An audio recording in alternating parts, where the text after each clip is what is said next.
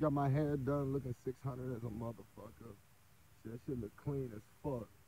But yeah, them niggas over there be talking about how they look fresh. Nigga, most of y'all niggas look like some straight fucking penitentiary punks, dog. Like, I tell you, man, these these niggas dressing like faggots thinking that's cool, nigga. So you see my hair now, that's cool, nigga. And all them niggas go, no, that shit look lame. Then why is it the top style in the country right now with y'all fuck asses, nigga? Like I tell people, them niggas that always talking shit, hating on people, man. Them them losers that don't have anything.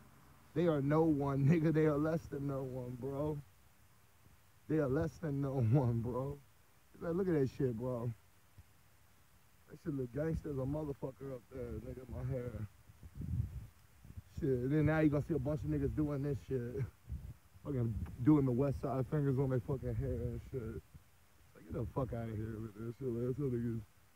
All niggas be on that fucking, like I tell people, that's petty. That's what's called critiquing a man when everything that you have to say out of your mouth is negative, negative, negative, negative. That's the definition of a hater.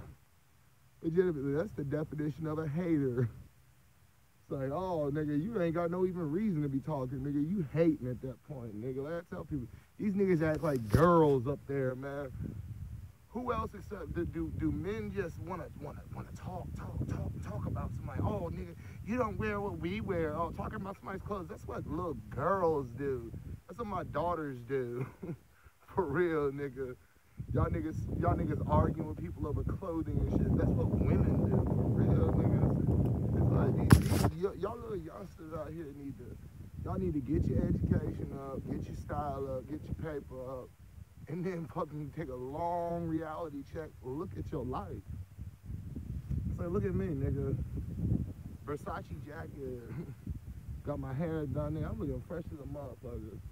No, no wonder I ain't got no problem getting females. Never have had a problem getting females.